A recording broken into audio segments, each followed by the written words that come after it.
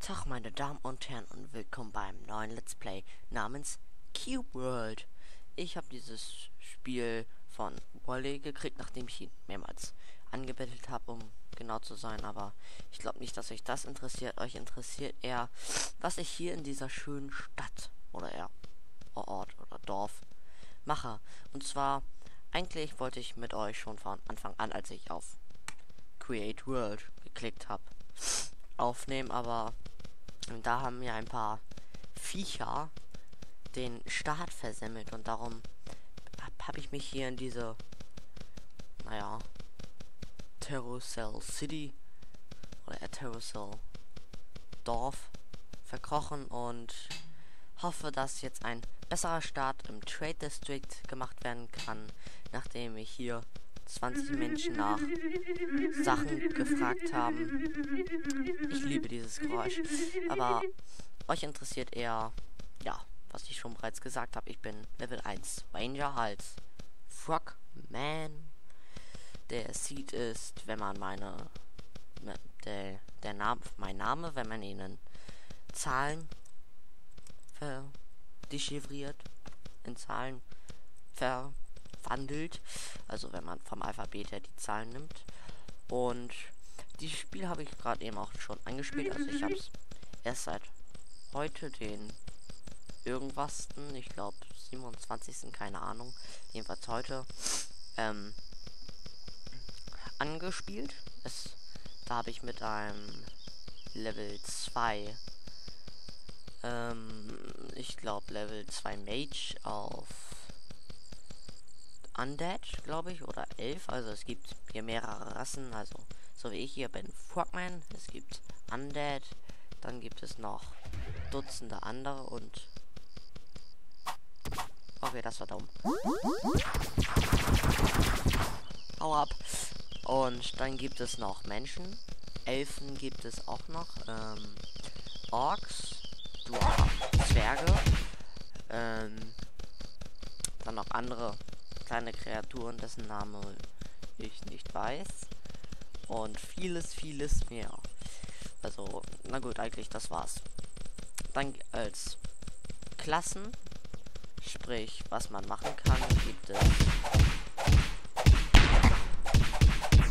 gibt es einmal. Gott, ist das laut.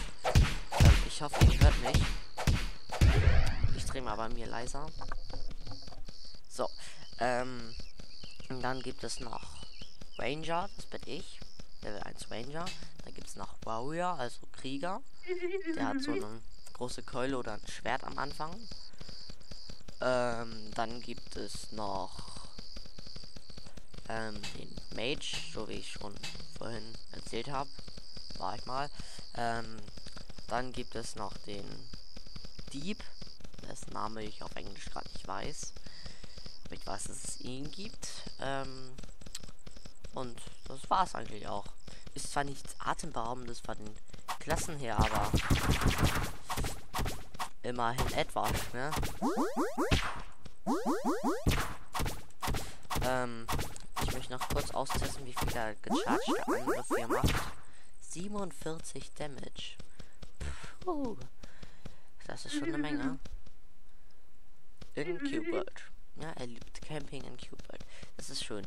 Dann würde ich mal sagen, gucken wir uns hier mal die riesige, wirklich riesige Karte an. Das ist alles zufallsgeneriert auch.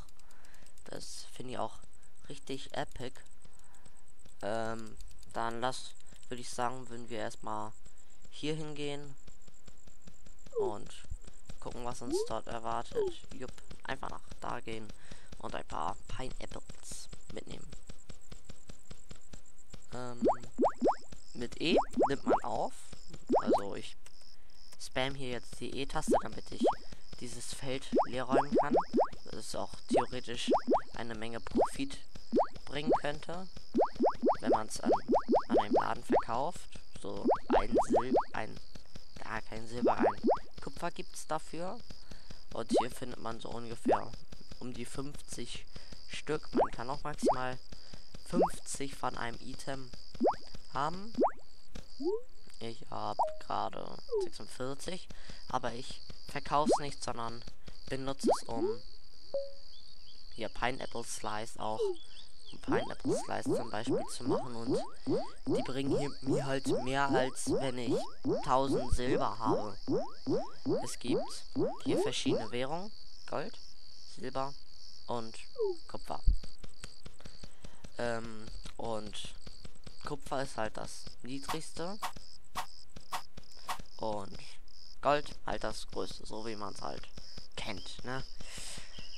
Und dann gibt es auch noch Milliarden, na gut, nicht Milliarden oder auch nicht Millionen, sondern Dutzende von verschiedenen Kreaturen, die auf verschiedenen Leveln sind. Das habt ihr auch gerade in diesen Beitern gesehen. Die haben, haben einen hohen Namen gehabt. Das bedeutet, dass sie sehr weit über mir stehen vom Level her. Das sind auch ein paar. Mit F mache ich eine Lampe. Die kostet mich nichts. Ich habe eine Lampe, wenn ich einfach F drücke. Und hier sind recht viele starke Kreaturen. Ich hoffe, dass ich nicht in einem roten Gebiet hier bin, weil die Umgebung von Cube World ist in drei verschiedenen Gebieten unterteilt. Blau, das bedeutet, dass sie unter meinem Level sind. Sprich, wenn ich jetzt hier ein Level 5 wäre, dann wäre diese Katze bestimmt ein Level blau, ein blauer. Doch da ich jetzt nur Level 1 bin, muss ich mir ein hohes Level halt erkaufen. Oder erkämpfen. Und das Kampfsystem ist hier halt wie zum Beispiel in Skyrim draufhauen. Einfach nur draufhauen. Und was haben wir da gerade eben bekommen? Äh. Und daran erkennt man auch, dass es Pre-Alpha ist. Da es auch manchmal seine Tücken hat, aber was ich auch cool finde, ist, wenn man Steuerung gedrückt hält, wie bei unserem Eldaria Let's Play, glaube ich, war es auch Steuerung, kann man klettern. Genauso wie bei Smart Moving, dem Bot für Minecraft. Und hier braucht man halt keine Modifikation, sondern kann einfach drauf los kleiben. Und das macht eigentlich recht viel Spaß. Esse ich jetzt hier noch ein paar Pineapple Slice. Ich glaube zwar nicht, dass man das trinken kann, aber ich glaube, Essanimationen haben die noch nicht eingebaut. Und was ich hier mit den, warum ich die Büsche verprügle, ist halt so, da Plant Fiber oder wie es auch gerade eben war, das Holz rauskommt und mit diesem Holz kann ich halt meine Waffen verbessern oder halt andere neue Waffen bauen und was ich meine mit Waffen verbessern ist halt, da gibt es eine Verbesserungswerkbank oder einfach eine Werkbank, wo man sich hinstellen kann und wenn man genug Ressourcen hat, kann man die auch bauen und hier haben wir eine eine Reihe von Wizards, die die viele Sachen hat. Sagte da gerade jemand I love your name? Nein. Ähm, ich suche nicht Lampen, da ich selber eine habe. Sie hier. Sie auch da. Ich muss kurz was gucken. Nee, wenn ich die wegschmeiße, habe ich sie nicht. Weil ich dachte immer, wenn man wenn man keine Lampe hat, das kann ich auch nicht F drücken. Was ist da nur los?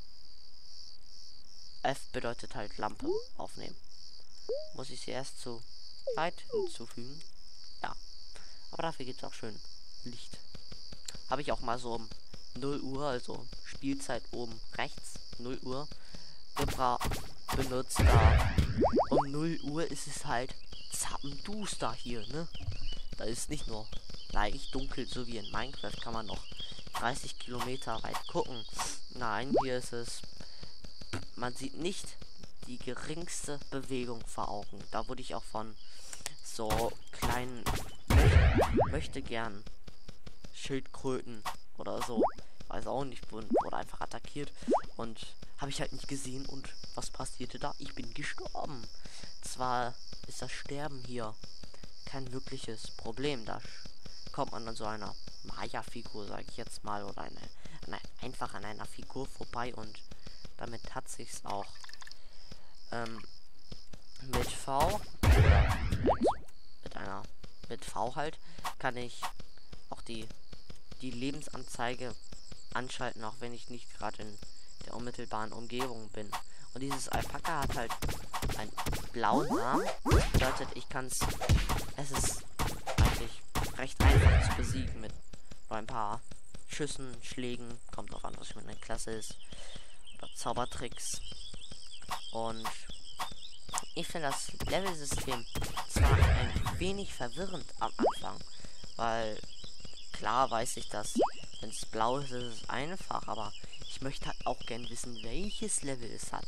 Es nützt mir nichts, wenn ich hier diese Skullballs sehe, die einen roten Namen haben, wenn ich nicht weiß, welches Level sie sind, damit ich sie in späteren Verlauf wegnatzen kann. Aber das ist halt, wie gesagt, Pre-Alpha und damit muss man halt rechnen, dass das Spiel noch nicht komplett fertig ist. Aber ich finde das Spiel sieht jetzt schon für so einen frühen Status recht gut aus.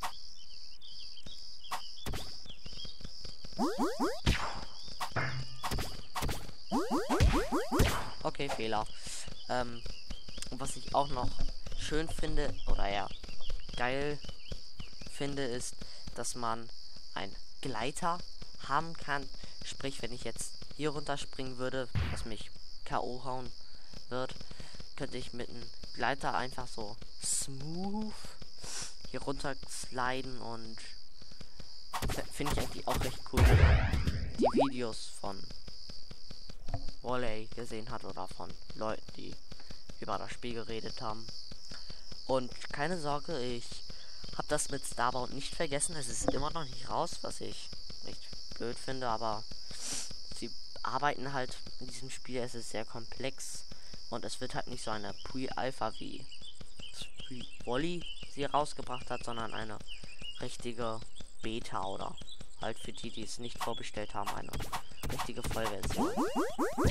Und ah ja, ihr, ihr solltet es euch jetzt vorbestellen, weil sonst habt ihr halt nichts davon, wenn ihr es später vorbestellt, wenn die Beta raus ist, weil da hat man halt nicht die Beta, kann man halt nicht in der Beta teilnehmen. Ähm, was ich hier mache, ist Tab drücken, damit ich schnell zu einem Heiltrank gehen kann, um diese, weil ich dachte, dass diese Dwarfs hier feindlich gesinnt sind. Scheiße. Ich guck, ich sehe nicht komisch aus. Du siehst komisch aus, du kleiner, fettnasiger, grünhaariger Zwerg. Und hier könnten wir halt auch, wenn wir R drücken, nochmal ein paar Pineapple Slices machen. Da wir jetzt 48, 47, 46, 45 Pineapples haben und die machen halt zwar nicht so viel satt, aber dafür machen sie halt satt, ne? Hier können wir auch Ginseng-Suppe machen. Dafür brauchen wir die Ginseng Hut, den man von der Ginseng-Pflanze halt bekommen kann. Und hier kann man auch Live Potions machen und aus Wasser aus normalen Flaschen Wasserflaschen machen kann. Aber ich finde es halt blöd, dass wenn man eine Live Potion getrunken hat, dass man keine keine Glasflasche zurückbekommt. Weil dann könnte man könnte man es viel einfacher gestalten. Könnte man es viel einfacher machen, indem man einfach 10 Wasserflaschen kauft und dann hat man ungefähr 10 Live Potions für den Rest seines Lebens, wenn man genug Live Flowers, glaube ich, heißen die. Nein, Hurt Flowers hat, dann hat man genug fürs Leben. Und hier sieht man auch halt Gambis, Gambi oder der Dwarf, die halten erstens zusammen und zweitens sind sie halt Verbündete mit uns, aber Feinde gegen Feinde gegen die Gegner halt. Und was ich auch schön finde, ist, sind diese Seen, wie man da hinten auf der Minimap sehen kann. Die sind eigentlich auch recht cool, wenn man da drin schwimmt. Ja, man kann schwimmen. Das finde ich auch das Coole daran. Ähm, und, ah ja, ich glaube, es gibt eher vier, zu sein, vier Teile oder so.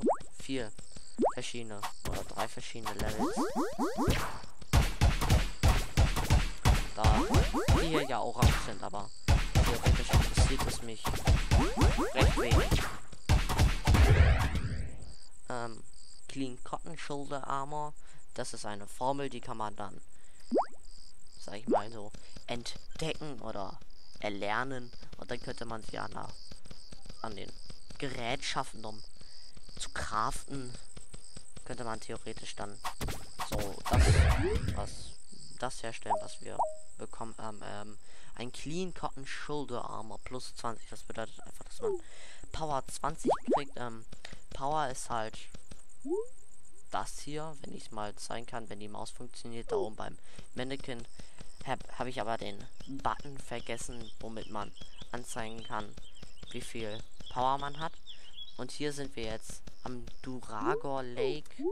Das ist ein roter Lake und da haben wir ein Spitter plus 4. Ich hasse Spitter, weil das sind so welche Mages bloß für Wasser. Und hier müsste eine Höhle sein, da, da eine Fledermaus ist, die uns gerade verfolgt. Und da kämpfen welche. Uh, Katak. Erinnert mich an. Die Bat. Der Batman hat dein Freund gekillt. Katak. Erinnert mich an Star Trek. Um genau zu sein, Star Trek Voyager Reich. Star Trek die Next Generation nicht gesehen habe, aber ich glaube, ich langweile, langweile euch jetzt ein wenig mit den Star Trek habe, aber das müsste euch, glaube ich, nicht stören.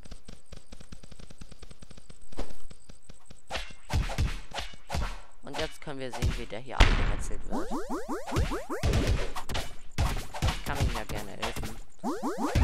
Aber es wird, um genau zu sein, wenig bringen, da ich auch gleich gemetzelt werde. Zwar könnte ich jetzt theoretisch ausweichen. Oh, lag. Aber das bringt mir genauso wenig wie dem Typen vor mir. Da wir beide gerade abgemetzelt werden.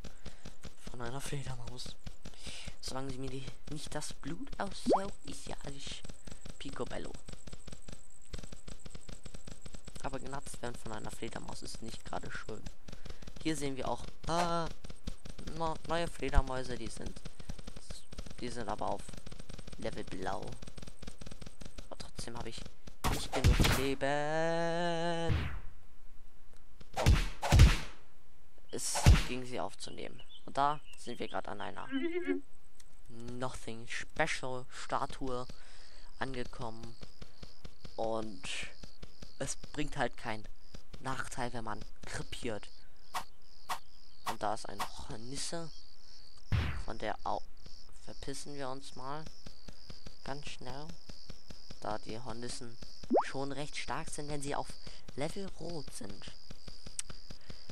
Hm. Dann gucken wir uns mal um. Ich glaube, in dem Land, wo wir gerade sind, gibt es nicht so viel zu entdecken. Darum verpisse ich mich jetzt nach Terrasol City und das sind auch ein paar Lizardmans. Die, die Spezies kann man auch nehmen.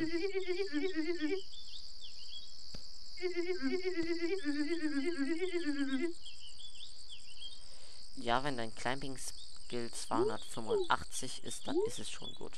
Weil mein Climbing Skill ist auf Level 0. Oder auch nur, weil ich kein Level up bin.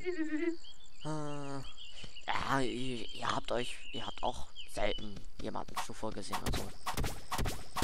Naja. Und dort hinten sehen wir ein paar ich wollte gerade Bittrip Runner sagen, aber. Oh, es sind ja auch keine Runner, das sind Cox. Und dort sehen wir, dass der jetzt tot ist. Und wir haben ein EP. Ja, sowas dauert. Leveln dauert hier echt lange in Cube World, da man meistens von den Kreaturen ein EP kriegt und mehr nicht. Das finde ich schon ein wenig traurig. Hallo. Und was sie auch noch verbessern könnten, wäre, dass man nicht, nicht die ganze Zeit warten muss, bis man fertig ist. Oh, und das kommt der Korn. Kämpft doch gegen den anderen jetzt Angst. Jedenfalls bringt, bringt es mir 4 EP. Was auch schon eine Menge ist. Und wenn ich ihn jetzt hier wegnatze, müssen wir in nur zwei Schritten, zwei Bosses töten, dem Level und sind wir Level 2 Ranger. Was auch so. Level up und das dröhnt echt in den Augen. Hoffentlich habt ihr jetzt kein Ohrinfarkt bekommen. Naja, jetzt sehen wir, dass wir mehr Leben haben und jetzt haben wir zwei Skill Points. Könnten wir uns entscheiden, ob wir Sniper werden. Ähm, da ist halt eine Hitserie, wenn meine Angriffsgeschwindigkeit wird erhöht mit jedem Treffer, was auch schon eine Menge sein kann bei Bosskämpfen. Ähm, und unsere Attacken haben eine Ch Chance, unseren nächsten Special Attack mit voller Power rauszuhauen. Aber das begeistert mich nicht so sehr und darum werde ich auch hier dran bleiben. Ähm, müssen wir uns nur entscheiden. Hm. Hier ist eigentlich kein großer Unterschied. Dann sollten wir ein Climbing Skill und dann ein Kick Skill und dann Learn klicken. Jetzt haben wir hier unten ein 1, ein Kick, könnten wir benutzen, immer um Leute, die mir zu nahe kommen, wegzuhauen. Und ist eigentlich recht praktisch, da, ja, ich weiß nicht, ob es gut ist, aber es müsste eigentlich recht praktisch sein. So, und Klumpen. Ich habe eins gedrückt, da musst du wegfliegen. Verstehst du das Kampfsystem nicht weiter? Müsstest du eigentlich wissen. Komischer Couch. Nein, nicht Kuh.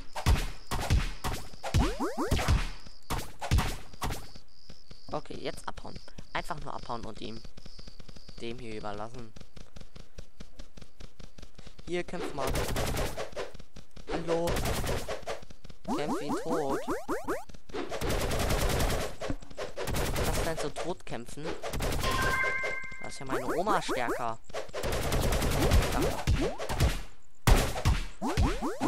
Das ist sein Umblick.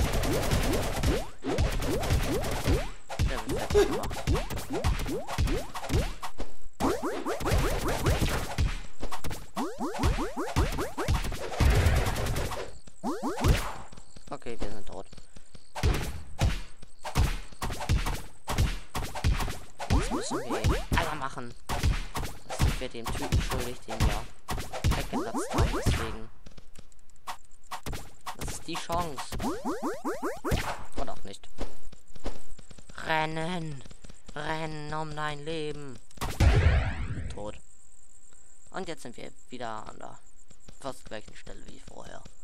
Und dort sehen wir einen Fluss auf der Minimap. Da werde ich jetzt auch lang, nicht lang warten, sondern eher diesen Mo töten. Nicht auf Map gehen. Nein! Hau ab! Hau ab mit deiner scheiß Map! Nein! Hau ab! Gott. Was war das denn für ein Scheiß?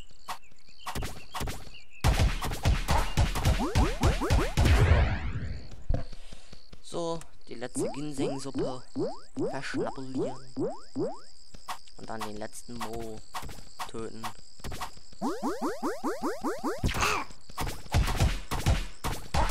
So, ein MP aufbauen und dann tot. Tot, sagte ich. So.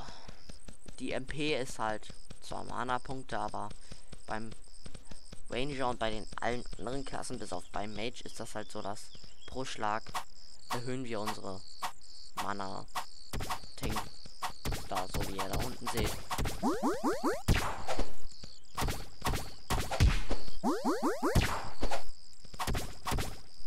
Und bei der Bumblebee ist es halt auch einfach auszuweichen, da man schon förmlich sieht, wann er angreift.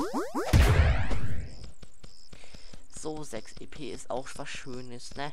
Könnten wir uns ein EP-Eis kaufen Und ich würde auch sagen, das war es erstmal auch für die erste Folge.